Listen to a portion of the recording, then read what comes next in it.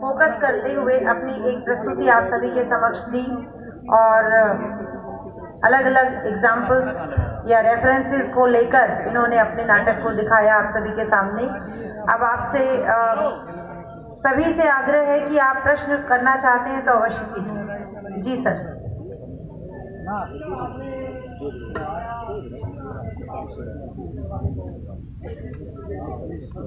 वो अलग है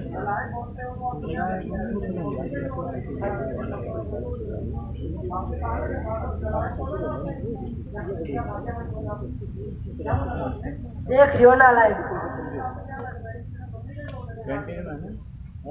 मम्मी ने इसको पाँच सौ रुपए दिए थे ना।